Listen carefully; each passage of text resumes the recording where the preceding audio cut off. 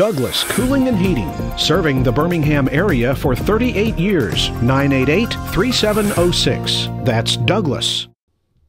I'm James Spann. This is the Weather Xtreme video for Friday, the 26th of November, Black Friday, Iron Bowl Friday. When it's getting cold out there, and of course, everybody this morning wants to know when's the rain going to move out. Well, let's take a look and see if we can answer that. First off, the uh, Skycam images. First off, coming from Fayette up in northwest Alabama. They're down to 43 at 5 o'clock. That cold air blowing on in here. That's the uh, Birmingham Skycam. Uh, the observation up there sitting at 48 and dropping. And you go down to Clanton, they're still sitting in the 50s. They're at uh, 55 degrees. But again, what's going to happen uh, early this morning? Temperatures will drop into the uh, low and mid 40s and just kind of hang in there all day today.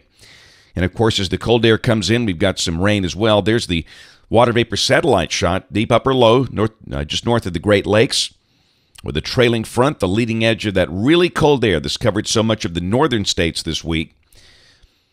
And there's the progression of the cold air across our state at 5 o'clock. Muscle Shoals at 40. Montgomery still mild at 64. But uh, that front will make steady progression this morning. And again, where you see 50s, those numbers will come down in the 40s, and uh, we're just going to sit there all day today. You factor in a pretty chilly north wind, and of course, rain is falling this morning, and it's going to be a very raw day. There's the radar at 512.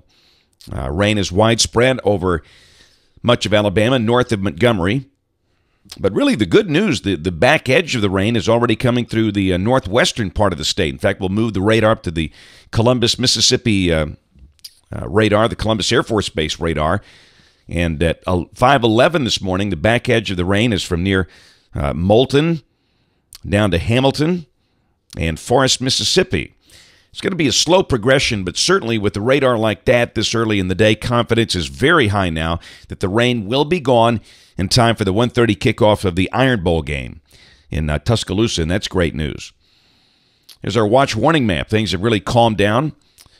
Still some trouble spots, northern New England, winter weather advisories, and uh, got some winter weather issues way back in the northwest. But you can see much of mid America is quiet. No severe weather problems, no winter weather problems on this uh, day after Thanksgiving. QPF chart now. This is valid through Tuesday evening of next week. So this counts the rain we have this morning and the rain we are expecting Monday night and Tuesday. And we got some big numbers on the board. The bullseye just north of Muscle Shoals with four and a half inches.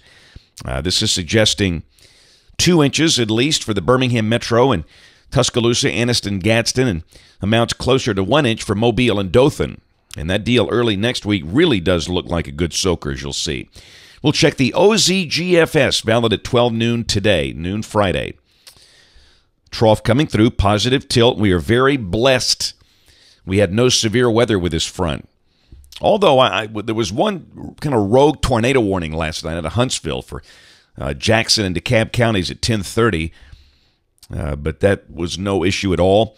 That's the surface chart at noon today. It looks like the uh, rain will be ahead of schedule uh, based on this because I think it'll be over by noon based on radar trends. So, again, uh, rain during the morning, ending by midday. Cold, breezy, temperatures in the 40s all day. Tomorrow, we should start the day in the uh, 20s. The uh, GFS is showing 29. Of course, the colder spots, uh, colder valleys could be below that. But we'll start to warm up. The high tomorrow should be in the uh, mid to upper 50s. Sunday should be a nice day with uh, low 60s likely. Monday of next week, look at the trough out west. Down below that at uh, midday, the moisture is increasing. Winds pick up out of the south. There might be a shower during the day, but the big rain holds off until Monday night and Tuesday, and there's Tuesday. Uh, this front should bring a good rain, but there's hardly any surface based instability involved. So uh, perhaps we'll get away without any severe weather problems again. Uh, the SPC guys have not defined anything out there in that day four through eight outlook, so uh, there could be a strong storm, but like the system that came through last night and this morning, the severe weather chance at this point does not look all that great. That could change because we're still several days out. But the bottom line is one to two inches of rain sure do look likely with that. And Wednesday of next week looks pretty cold. Highs will drop in the 40s. Strong north wind.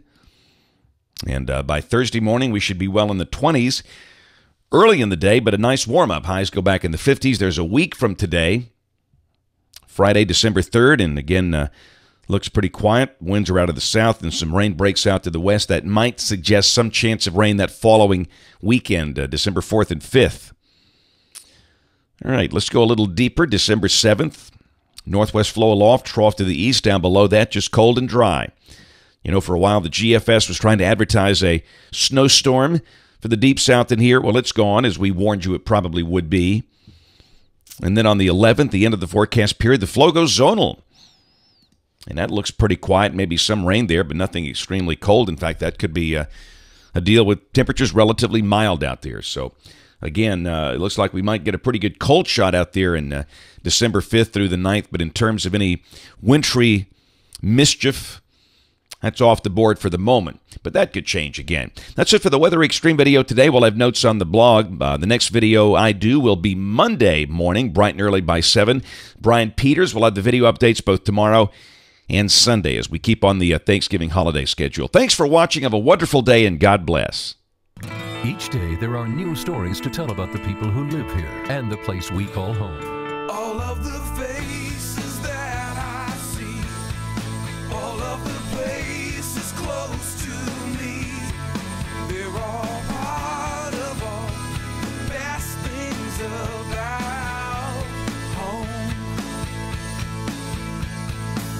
Sharing your stories on ABC 33/40, Alabama's news leader.